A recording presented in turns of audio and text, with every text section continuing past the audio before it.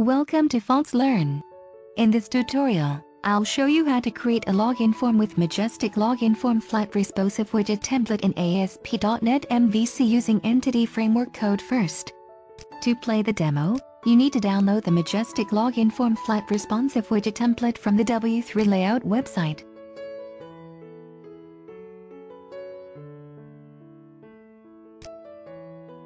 Unzip the Majestic Login template, then copy the login template to your website project.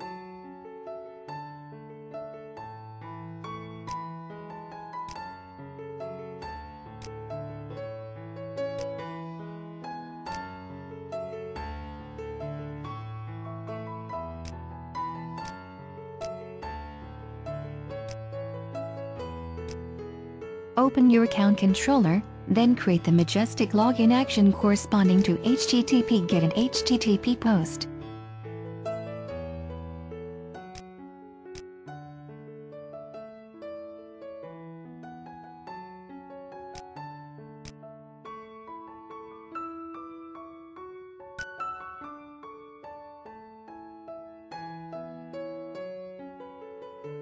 Right-click on your Majestic login action, then create a login view.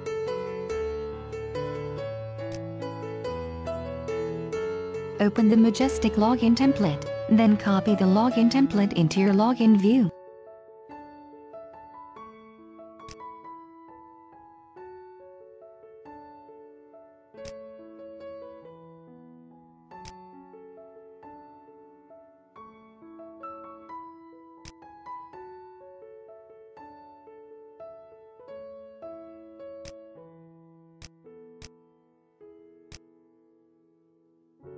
You need to include the CSS and JavaScript files to your login view, then change the HTML controls to the ASP.NET MVC controls.